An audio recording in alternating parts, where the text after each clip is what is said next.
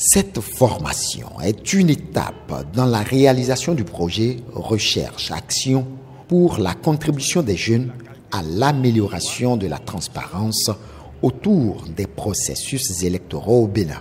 Ce projet, financé par les États-Unis, est une idée de jeunes béninois anciens boursiers du programme américain YALI, Young African Leaders Initiative.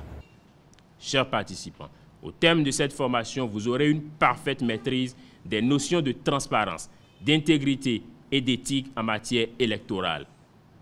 Vous aurez une meilleure connaissance des dispositifs assurant la transparence, l'intégrité et l'éthique autour des processus électoraux au Bénin.